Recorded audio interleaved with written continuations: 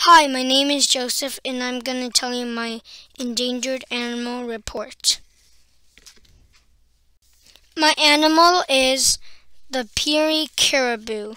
Its scientific name is Rangifer tarandus pereiri.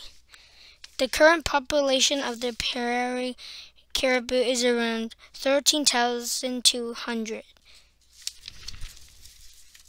Where can the Peary caribou be found? Peary caribou are endemic to Canada in the Northwest Territories and Nunavut.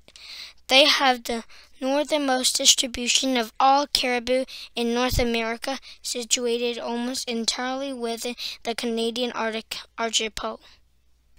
The habitat of the Peary caribou is treeless Arctic tundra, primarily within high and middle tundra ecoregions. Most of the range can be a polar desert with short, cool summers and long, cold winters.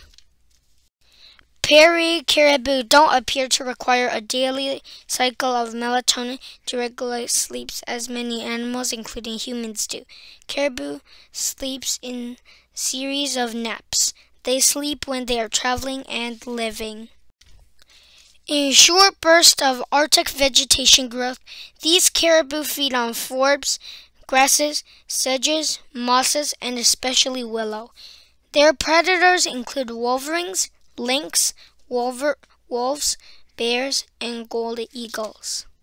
The highest impact threat to the Peary caribou arises from the effects of a changing climate, including intensity and frequency to severe weather events negatively affecting forage accessibility in the winters and decreased extent and thickness of the sea ice causing shifts in migration and movement patterns.